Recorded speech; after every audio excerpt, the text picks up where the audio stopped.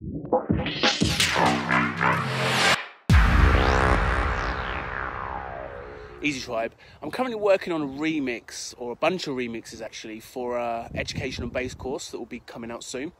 And the particular remix I'm working on today, I have the honor of working on a drum and bass track by two great producers and a big drum and bass MC. So it's quite a privilege.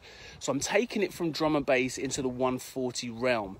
Now, my initial approach to all the remixes that I do is I try to really respect the original content and the concept. I don't want to just mash it up and use a couple of the sounds. I want to really maintain that, but take it into another place using my own sound. So my initial approach is I will make um, the most out of the original sounds based on my own opinion and my own taste. So there might be a sound in the background in the original, I'll bring it to the forefront. I might rejig the drums and create some more space.